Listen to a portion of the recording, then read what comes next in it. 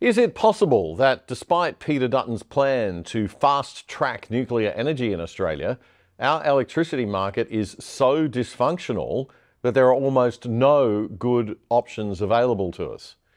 That it's not a choice between disaster and blackouts under wind and solar unreliables versus abundant power and happiness through nuclear, but rather a choice between a total disaster and just a slightly less awful bad state of affairs.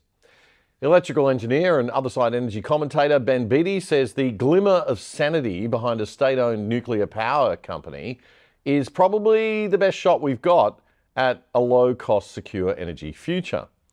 It'd be cheapest, he argues, if we just had full scale, unapologetic return to coal. But that's not going to happen in the current political climate, with so much billionaire wealth being poured into unreliables like wind and solar. So Ben argues that an expensive taxpayer funded joint jaunt down the yellow cake road makes a kind of sense.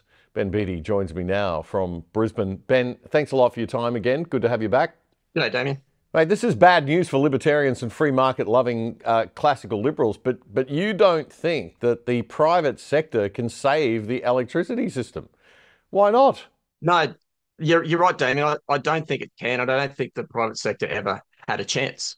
Uh, we've had renewable energy targets uh, since the early 2000s, and successive governments have ramped up the market distortions to the point where the only investment that makes sense to uh, to return a profit to shareholders is something that gets a seat at the table, is qualifies for the subsidies. And I think I think we need to face the reality that a government uh, with what say low cost of capital, long investment horizons, and uh, I think more importantly, a mission to reset the electricity system to something that's dominated by baseload, which is predictable and reliable.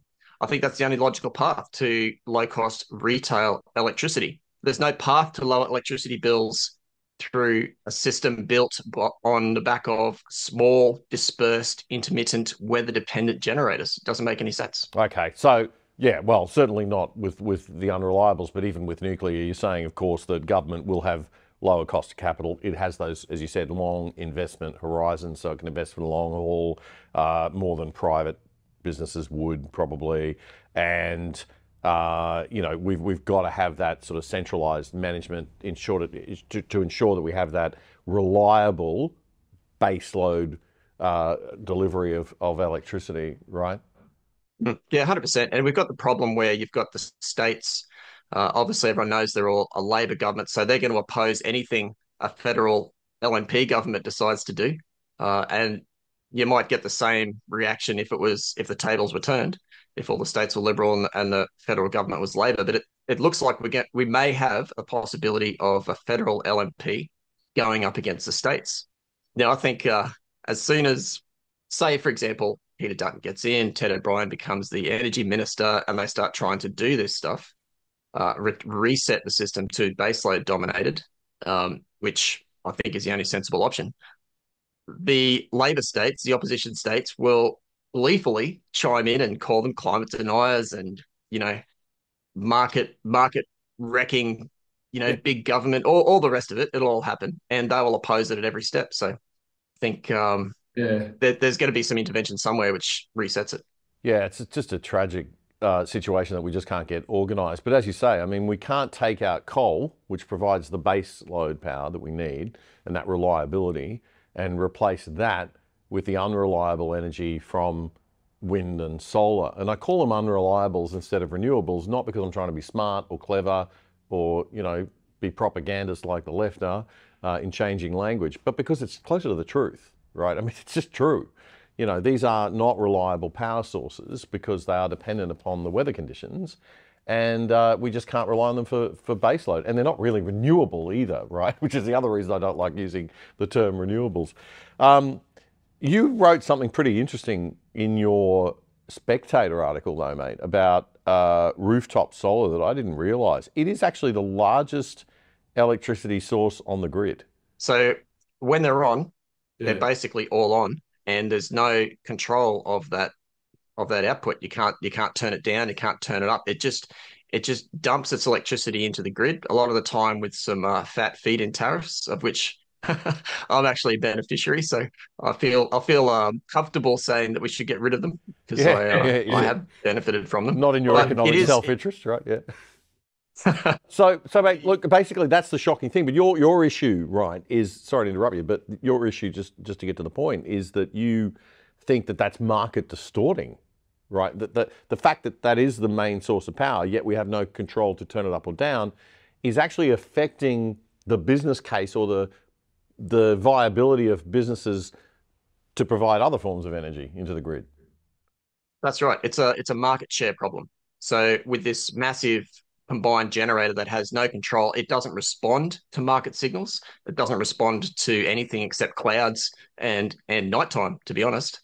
So that that causes periods of abundance in electricity where you see um, a lots of rooftop solar and and a, and a low demand day and lots of rooftop solar is forcing other generators to close and shut down completely during the day. Uh, and you have periods of scarcity where they just don't exist at all, which is at, a funny coincidence when everyone's getting home from work and turning on their heaters at this time of year, turning on the TVs, their ovens, and and the hot water systems get a run too. So this is all this is all genuine technical problems with the solar, and the market share is the is the economic problem for the baseload generators in general. Yeah. So it's proving a, disin- a disincentive for them. So, so enter, uh, you know, Albo's genius energy minister Chris Bowen and his capacity investment scheme, guaranteeing, as socialists love to do, minimum revenue for all generators. So you, you know, you guys will fix it. We'll give you, we'll make sure that you have a buyer of last resort. That'll be the government or really the taxpayers, right? So we are committed. And as you say in your article, that kind of mocks um, the market signals, the consumer bills. It's, it's a bit of a, a laugh at the way the, the market should operate. Um, and, and if they, these guys are getting overpaid by the state, uh, that's going to just send prices even higher, right?